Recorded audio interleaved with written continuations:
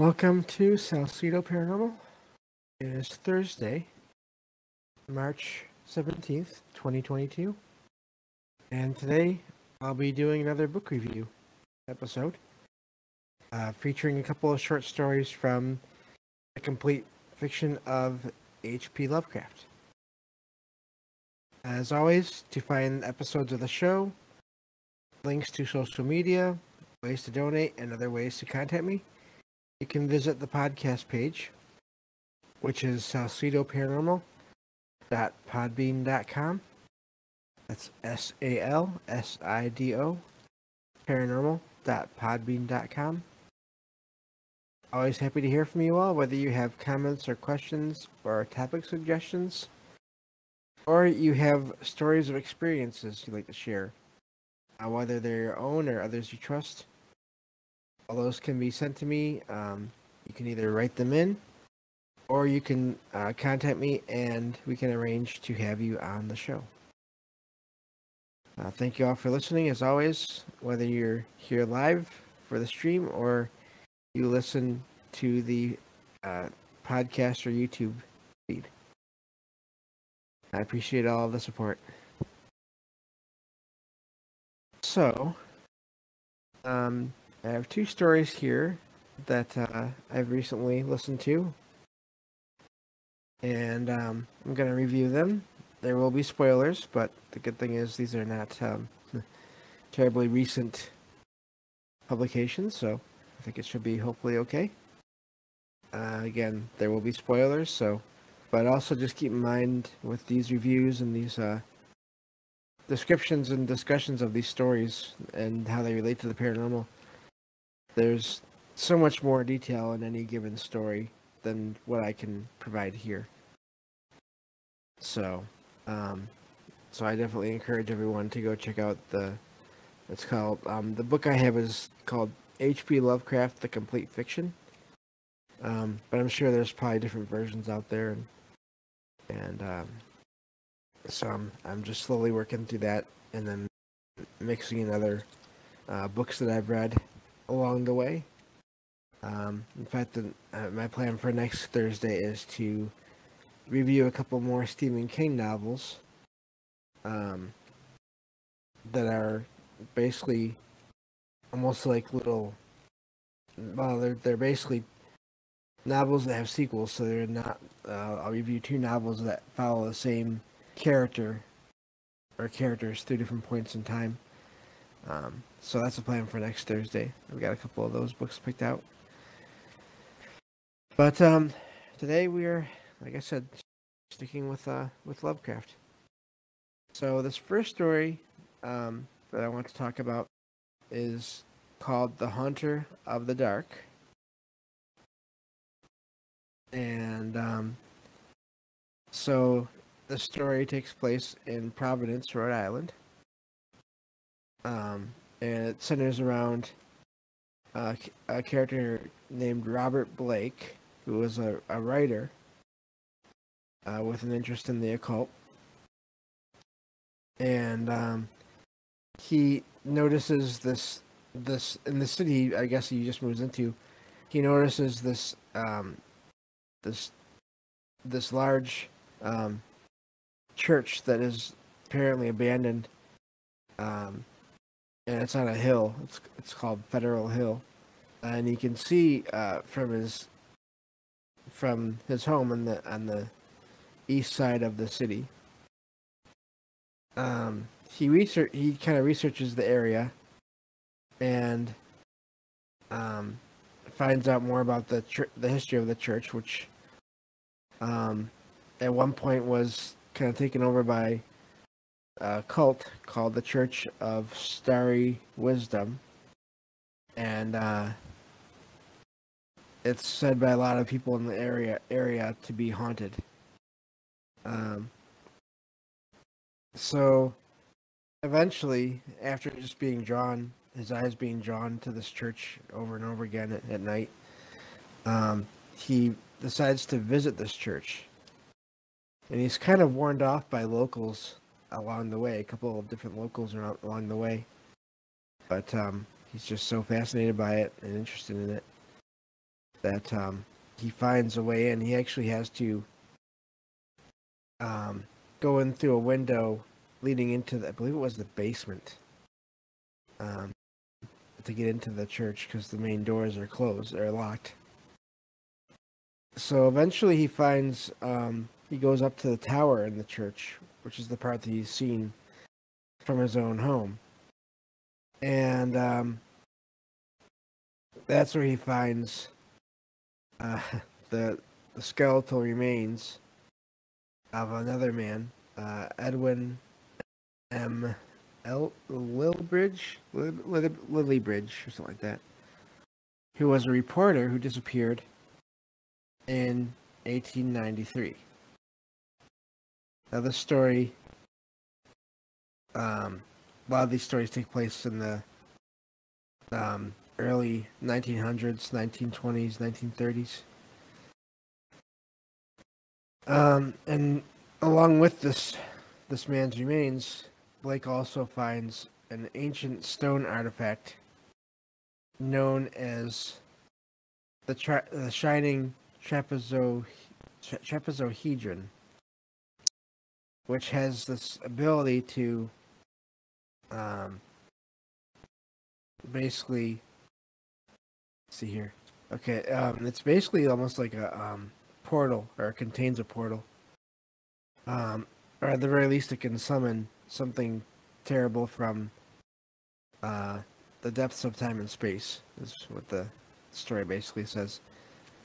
Um, this object object rests in a metal box with a hinged lid, and there are um, designs on the box that show living uh, living creatures, but they appear to be aliens. Um, all of this sits on a to- uh, column that is also filled with these alien designs or pictures. Um, and so, and but in, in the process of looking at all this, Blake uh, accidentally summons this this being through this portal, and he leaves the church um, because of this being basically showing up, and he he figures out that he he really shouldn't have gone there. Now this this creature can only go out in darkness. And so that's how it was basically trapped um, in the tower. And um, it doesn't like light, which is interesting. Um, but then sometimes when the, the city's power goes out, during thunderstorms, the there are these um, loud crashes um, coming from the church and the surrounding area. Uh, basically, which is this creature getting out of the church. Um, and then Blake, of course, hears all these sounds and these um, hears about the locals contacting uh, priests from other churches in the area and um, and then eventually there's uh, during one of these um, outages, this creature is being drawn towards Blake's apartment or quarters, and um, he has these um, weird feelings like he is himself but not himself, and um, it's almost like he's this being is in contact with his mind, and he's in contact with this being's mind. And um, he's eventually found. Blake is eventually found dead, staring out of the window of his apartment at the church, with like a, a look of horror on his face, face, which is similar to the way he found the remains of that reporter. Um, and his last words uh, refer to talk about basically he's able to see this creature.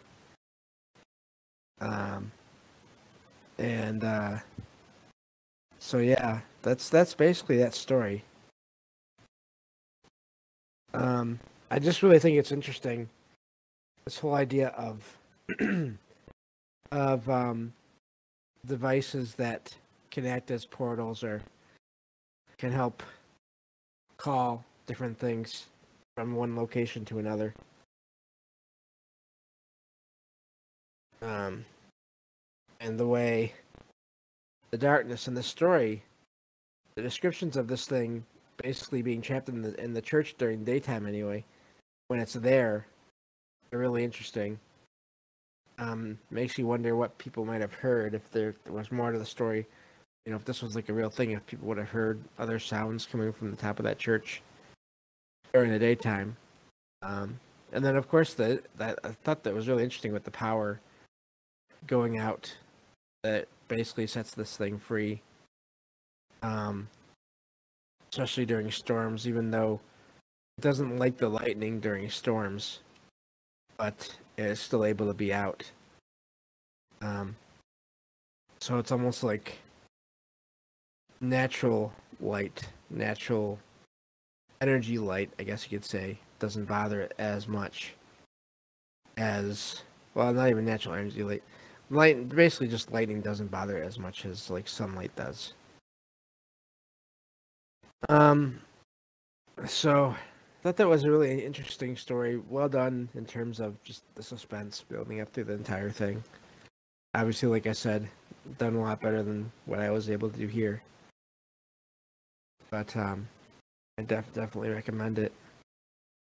Um, it's interesting because the haunt, the the the title almost implies something like a ghost, but this creature does leave like scorch marks on physical objects, and it sounds like it's massive when it moves around. So it's not really. It's kind of the title. It kind of leads you one way, but it's something else. Or is it? I mean, that's the whole, that's another idea as well. Is that maybe this is some kind of a alien, ghost-like alien kind of creature. So, so it was a it was an interesting, fun story to read. Um, so I, I really enjoyed it just for all those reasons. But um, but yeah, just again, if you if you ever find, I I found this uh, audiobook. It's the the um, the complete fiction. I found it on um on um the Google Play Store as an audiobook for five bucks. I've heard before that you can find a lot of Lovecraft stuff on YouTube for free, but this book is arranged in all in one file and it has a table of contents. So you can literally pick any story and um, and go to that right away. And it, so I, I just really for that price, that is really good for an audiobook, especially something that long.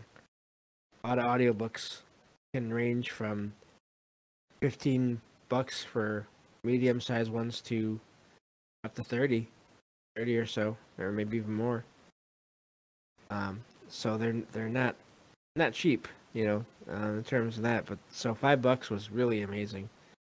I'd um, definitely recommend checking it out if you if you um, are into audiobooks at all. You know, just for that um, that value of having that convenience, paying for that convenience. Um, of having that. excuse me. Wow. So yeah, See, um, hello, Matt, Matt in the chat there. The real book has over 800 pages, and that sounds about right. That sounds about right. Yeah. Um, just because the the audiobook is almost 48 hours long. So um, I've I've gotten I've seen prices for Stephen King books that have been 30 hours long. That have been like around 20 30 bucks so i mean obviously you're you're paying for the name as well in those cases too but just an idea of of yeah yeah yeah matt i um and i love it but it's he's one of those writers where like i can only listen to one or two stories at a time um so just because they're so intense. Um, I don't know. There's something to it that's different, and so maybe I'll get used to it more over time and able to listen more at one time. But but yeah, so it's definitely it's helping out with this uh, review show. I mean, it's definitely providing a lot of material for that, if nothing else. So, but um, so that's the first story that I wanted to review. Um, and I read, I listened to that one last week. Um, so, and then the other one I listened to just today, uh, was called "The Shadow Over Innsmouth." Innsmouth. Um. So, that was another one, and this one is almost it's very different in one way that that you'll see. One thing I'm noticing with a lot of these stories is that it's it's there's a pattern of a narrator telling a story about a strange situation that they found and found themselves in and how they were like an, an academic or a writer or basically not believing in anything strange at the start of the story. And then weird things start to happen. And then by the end of the story they're either um, changed for life either mentally mentally or physically or as in the case of that last story you know unfortunately um, the character ends up dead so that seems to be I'm seeing a, pa- a pattern there, but it's I don't know. He, Lovecraft does it well enough where I, I'm not really I'm not bored by that pattern yet. Doesn't doesn't bother me yet. In a way, it's almost kind of like a fictional version of like um, extreme version of kind of I feel and um, like what I wish would happen to people that don't believe in any of the paranormal at all. Like I want them to have an experience, not not to the level of of Lovecraft. That would be that'd be cruel. That'd be that, that and then potentially deadly. But um, I I I always like it when I hear about people that in real life that have experiences that just did not think any of the paranormal, anything strange could be could actually be real, and then they have an experience and now they don't know. Now, now they do know. They they think that they realize maybe there could be something out there. So, um, anyway, that's uh, that's kind of like getting revenge, but without hurting anyone because it's fictional. um, I don't know. I just that just came to mind there, but anyway, so um, I'll get on to this other story here. But uh, yeah, thank you all for being here and listening to me ramble on, ramble on about all this. Um, because I do love sharing stories. Um, yes, yeah.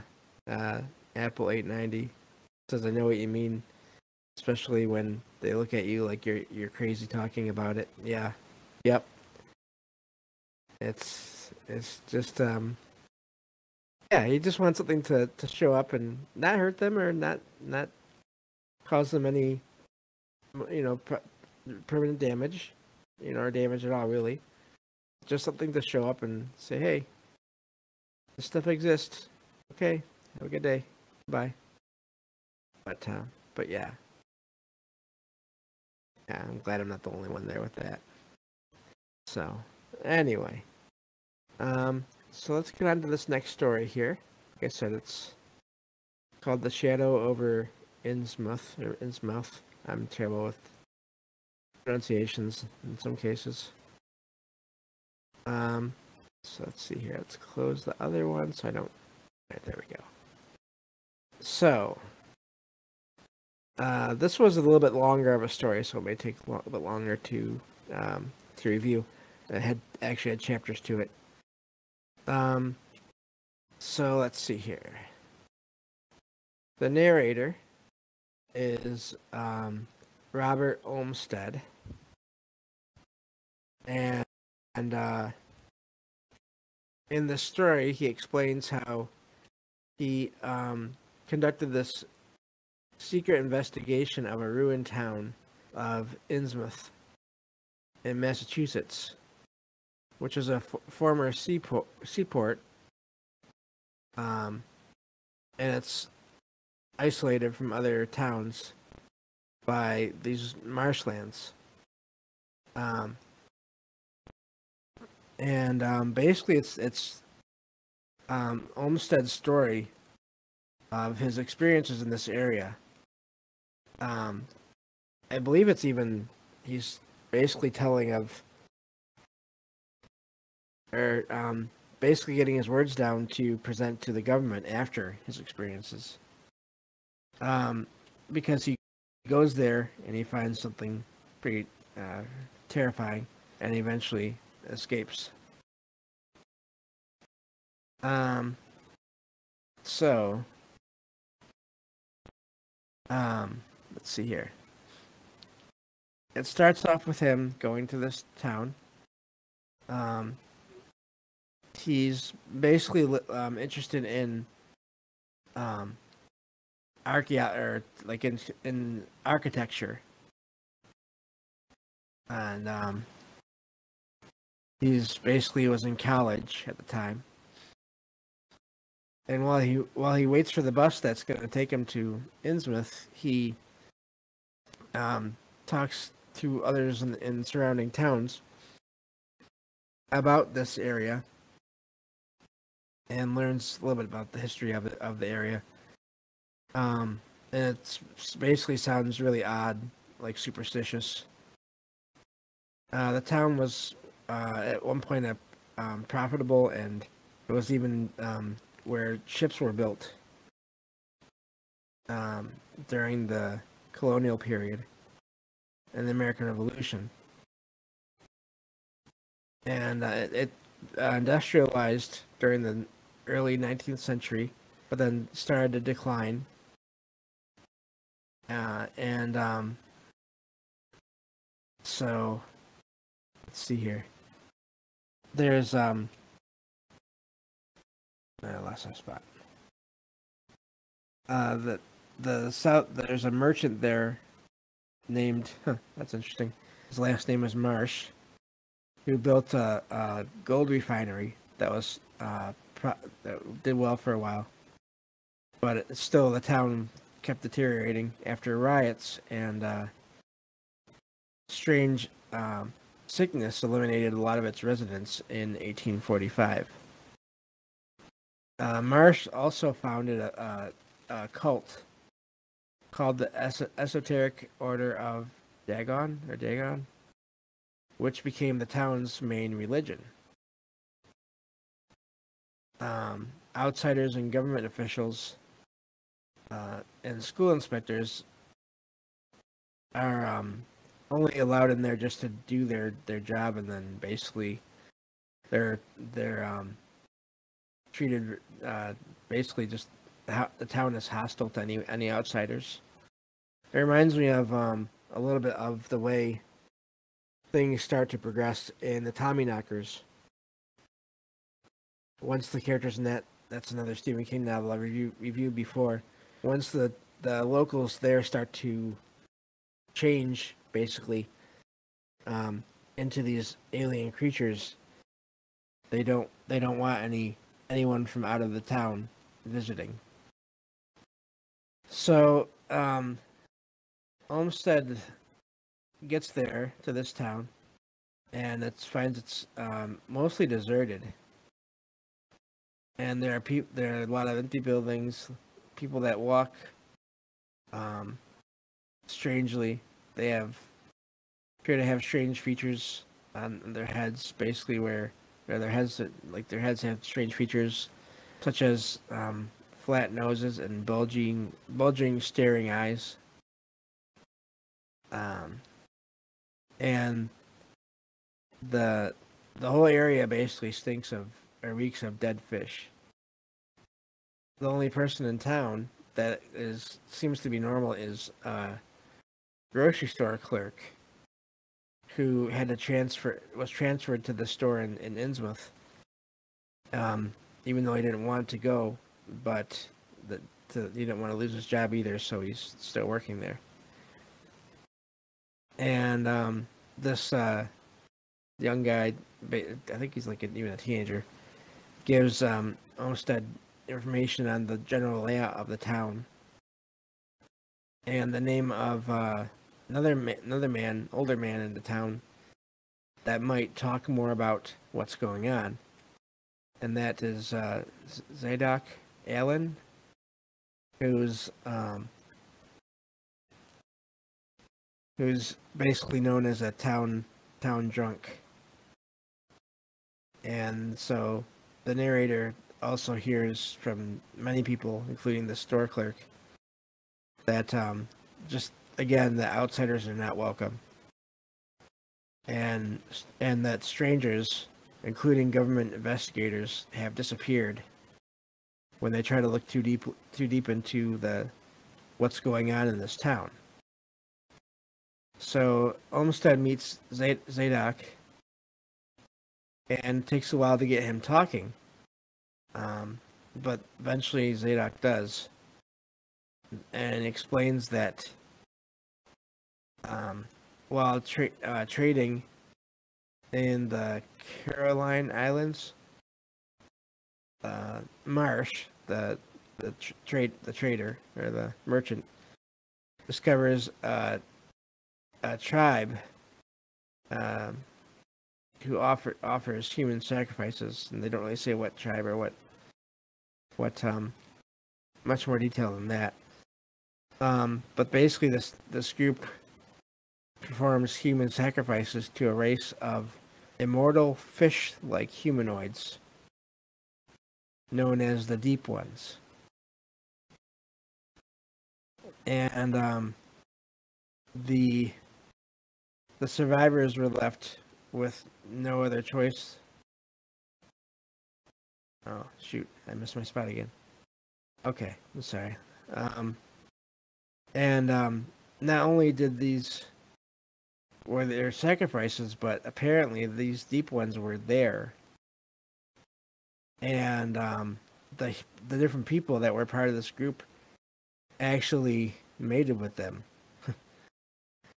And um, and so they they ended up having these hybrid offspring that look like regular people in childhood and early adulthood, but eventually they slowly change into deep ones themselves, and they leave the surface to go underwater in these um, under uh, these cities under the water, basically.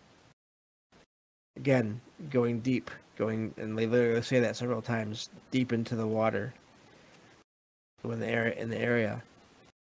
Now, uh, when when things started to decline in the area, the uh, esoteric order of Dagon performed similar sacrifices to these deep ones in exchange for wealth in the form of uh, massive amounts of fish and also uh, and are u- unique jewelry, I guess from. Um, seems like it's from the water. Um, so basically, eventually, the these original people that performed these uh, sacrifices, they were found and eventually arrested, and the deep ones retaliated by um, by swimming up the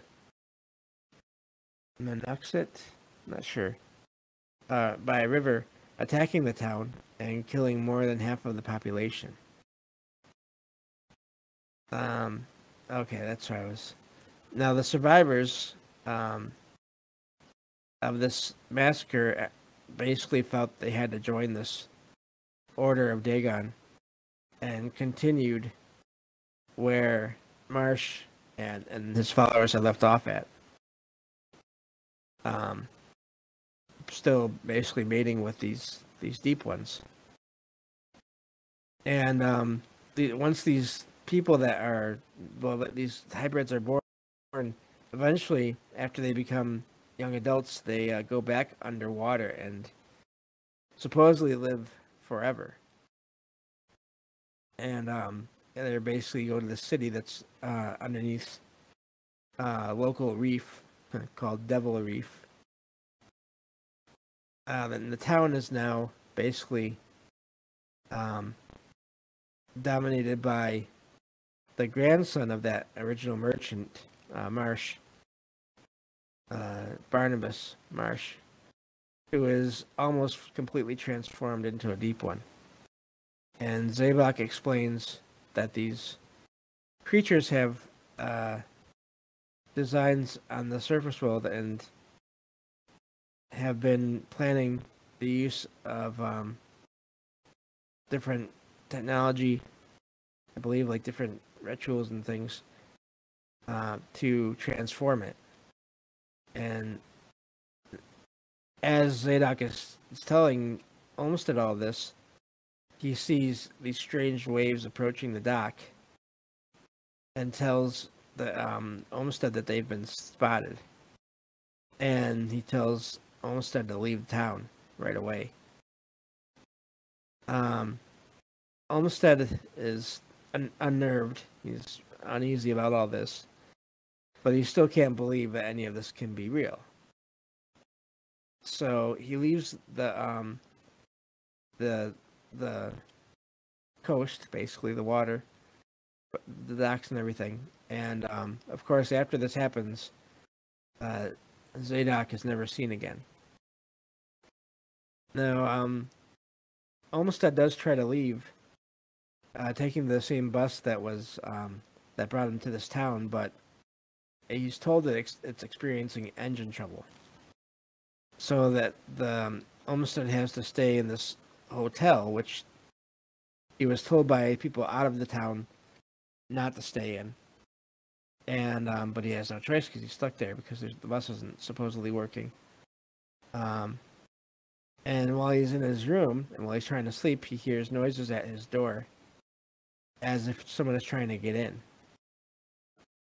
So he escapes through a window and uh, and then through the streets um, and basically has to flee the town while all these people and hybrids and creatures are searching for him.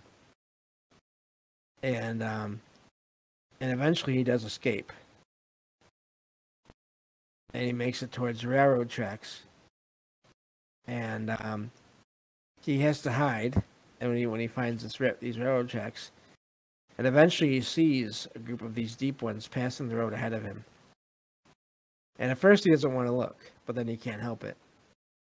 So basically, it's described. They're described as having gray, gray green skin, rare green skin, fish-like heads with unblinking eyes, gills on their necks, and webbed hands. And they um, talk in this unintelligible croaking sound. that These voices, and um, he Olmsted actually faints and wakes up the next day alone and unharmed. And um, that's where he eventually goes to alert the government about what all this or all this happened.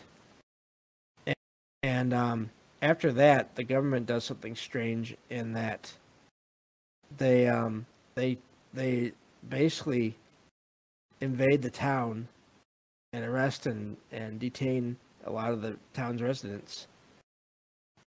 And then they also send a, send a submarine to tor- torpedo Devil's Reef, which um, the mistake, uh, the, the press um, mistakes as um, prohibition liquor raids. But um, anyway, so after all this happens, uh, Olmsted eventually researches his ancestry and finds he might be he might be related, related to Marsh, to the Marsh family. Um, so, and of course, um, there's a history of different members of this family once they start changing to unfortunately um, to kill themselves to stop the change that happens. And um, so he he starts having dreams of his great grandmother or his grandmother.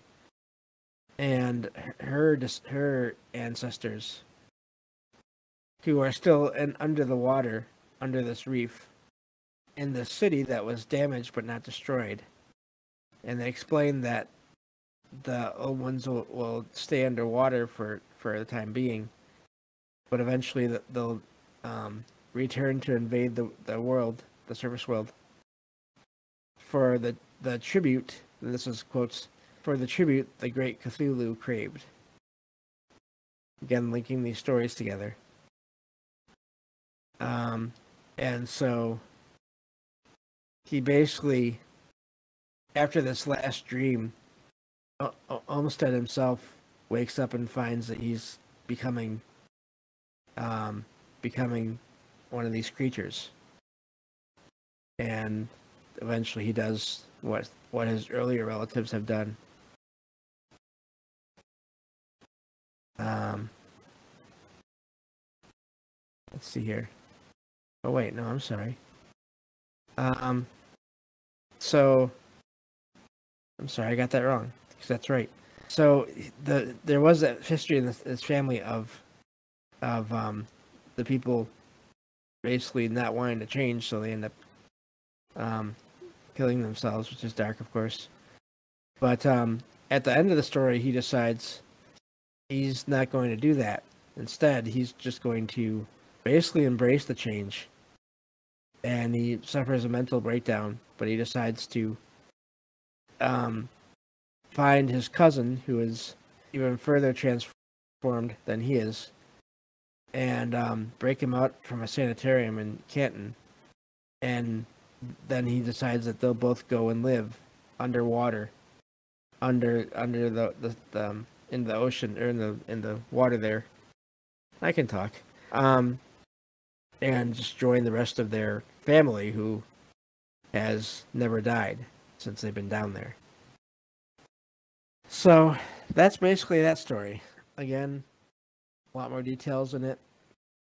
Um, but uh, just amazing. Again, written so well overall, and uh, so I really enjoyed that one. I listened to that one today. And um, so yeah. But let's see here. Okay, yeah, so that's basically basically it. Um so that's the story. And uh thank you all uh, for listening. See you all there in chat. I see. Uh, looks like we got uh, someone new to the new to the, to the listening to the stream live. Hello there, Big Y. I see you, and thank you all for being here. Um, but yeah, that I, that story really was quite the quite the, the piece there. Um, and the ending was just that was uh, an amazing ending after all that happening. So makes you wonder if they did, if Olmsted did go back underwater and find that city, would they, would he be welcomed or not? Because he did try to, he did escape.